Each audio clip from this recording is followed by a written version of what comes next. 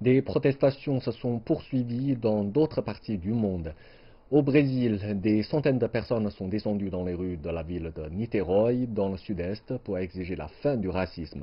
Et ce, alors que le nombre de morts lors d'opérations policières continue d'augmenter depuis 2019. À Paris, des policiers ont bloqué la circulation lors d'une manifestation contre les critiques du gouvernement à l'égard de la police.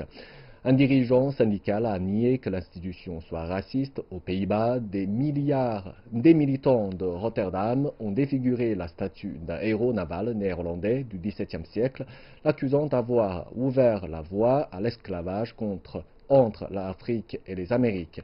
Et puis, à Londres, des centaines de personnes se sont également rassemblées pour soutenir le mouvement Black Lives Matter.